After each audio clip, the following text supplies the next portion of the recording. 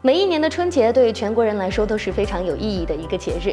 春节即农历的新年，是一年的岁首，也是传统意义上的年节，俗称新春、新岁、新年、新喜、年喜、大年等。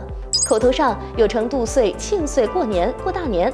春节对于中国人来说是象征着团圆、欢乐、久别重逢以及一年新的开始的意义。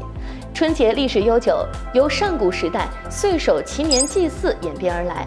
春节的起源蕴含着深邃的文化内涵，在传承发展中承载了丰厚的历史文化底蕴。在春节期间，全国各地均有举行各种庆贺新春活动，热闹喜庆的气氛洋溢。这些活动以除旧布新、迎喜接福、拜神祭祖、祈求丰年为主要内容，形式丰富多样，带有浓郁的各地域特色，凝聚着中华传统文化精华。所以，春节不但是代表着阖家团圆，也是对中国传统文化的传承。